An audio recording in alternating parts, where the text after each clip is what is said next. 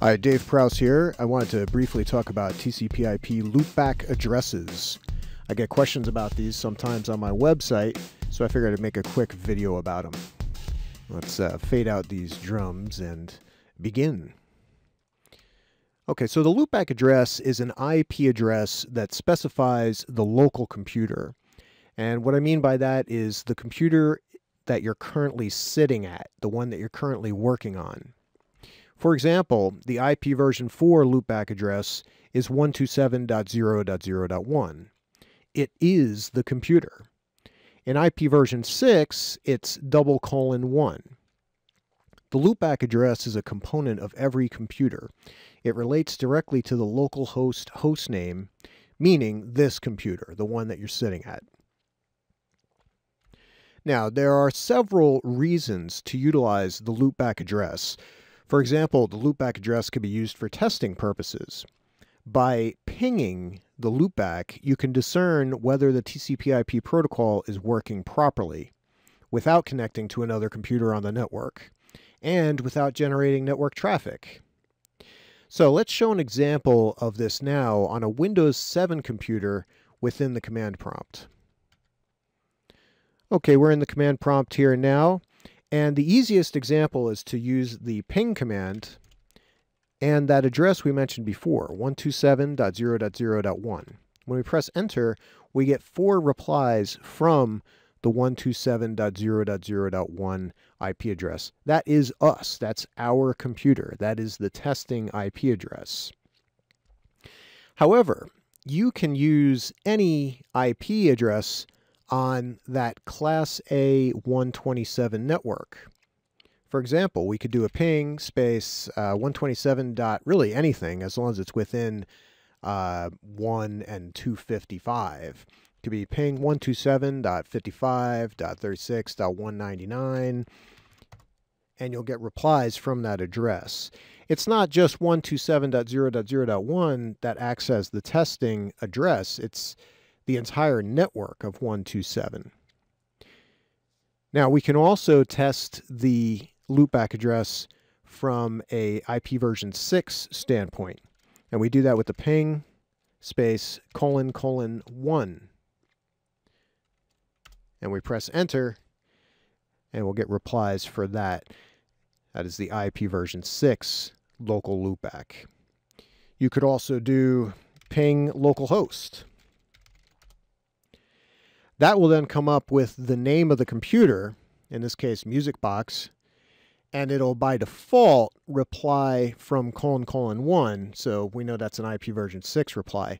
We could do that command in an IP version four manner by adding the dash four parameter on the end, and we'll get 127.0.0.1. Localhost is uh, more of a Microsoft name that you can use, but it's basically this computer However, this does create network traffic because there's some resolution involved with the name of the computer, in this case, Music Box. So if you don't want to create any network traffic and you don't want any name resolution, then you should do it by IP address. And by the way, uh, another name you can use is ping loopback.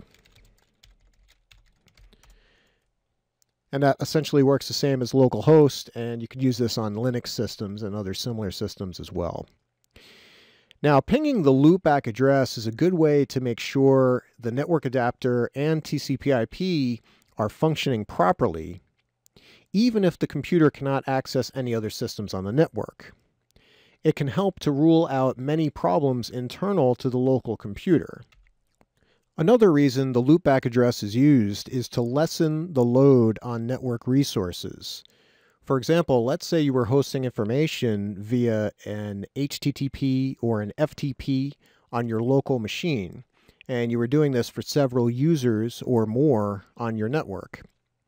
Those users would connect in the usual manner to the server, whether they're doing it with a browser or a third-party application, However, you could connect to the server via the local loopback IP address, and that would reduce the network load.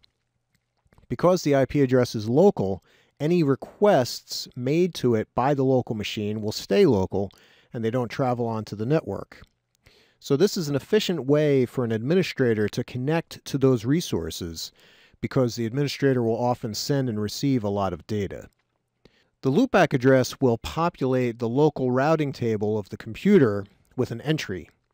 This way, packets that are being sent to the 127.0.0.1 IP address will be routed internally to that network, quote unquote. In fact, this applies to the entire 127.0.0.1 slash 8 block. So any address on the 127.0.0.0 network applies. This is why the 127 network is excluded from the usable IP version 4 Class A range of 1 to 128. Let's show an example of this real quick. Uh, first, we'll go into the browser. And I've got uh, my Chrome browser here at my website, davidprowse.com. We'll back that out. And we'll go to 127.0.0.1 and press enter. That brings up the home screen for IIS 7, Internet Information Services. That's the built in web server program within Windows 7. Of course, you have to install it and enable it to get it to work, but that's the web server that's running on this local machine. So if we go and use the browser to connect to it with 127.0.0.1, it'll just connect to that local website without creating any network traffic. And you could do this with FTP, you could do it with really anything. You can connect to any server with that, excuse me, any uh, server software running on the local machine with that local loopback address. And move data and do what you need to do, administrative or maintenance wise, without creating that network traffic. And uh, that could be a real good thing for a lot of networks because sometimes the data you might be moving could be huge. Could be video files, audio files, uh, what have you. We mentioned the routing table, the local routing table of the computer. Uh, 127.0.0.1 actually puts an entry into the routing table. And to see this, we go into the command prompt once again and do a route print. Okay, when we do that, we get a lot of information. I just scrolled back up. And if we look here, we'll see the entire 127.0.0.0 network, subnet mask 255.0.0.0, and the main interface that's being used for that is the local loopback address, 127.0.0.1. And here's the individual entry for that. So that's something that's allowing you to quote unquote route information internally. My regular IP address is on the 10.254.254 network, but that local loopback is on 127.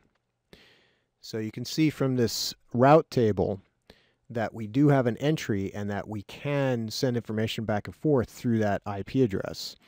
And that's again one way to uh, lessen the uh, load on network resources by really doing things locally if at all possible. But again, the best way to do this is to connect by IP address not by name, so that you won't create any of that network traffic. So let's wrap it up. In this video, I talked about the loopback address, which for IP version 4 is 127.0.0.1, and for IP version 6 is colon colon 1 or double colon 1. A couple of the purposes for the loopback include usage for testing purposes and to initiate sessions to locally stored resources thus lessening the load on the network. So this is good stuff for you A plus and Network Plus people to know. And uh, really you should know about the local loopback just for testing purposes if you're doing any type of technical work. So go ahead and try and practice this on your system now. Uh, for this video, I was using a Windows 7 Ultimate Edition computer and uh, just working in the basic command prompt and just any browser will do. So go and test that on, their, on your own. If you have any questions, feel free to contact me at uh, www.davidlprowse.com.